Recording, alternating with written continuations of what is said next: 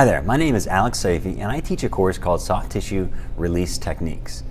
And before we get started talking about the course, let me tell you a little bit about myself.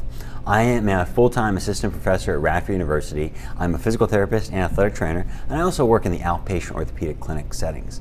For this course, we're going to be going over some soft tissue release techniques that you can use with your hands, and some of those techniques include strain counterstrain, ischemic compression, variations of positional release, and what the evidence says about the parameters and the application for these.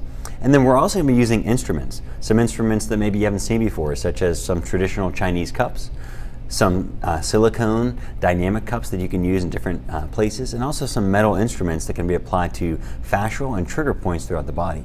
And one of the most important parts about this course is that we go over some specific portions of the body and specific patterns that the evidence and research is showing that are very important to focus on in order to get a best release for the patient and to get the quickest results possible. So I hope you'll find this course informa informative and hope to see you there. Take care.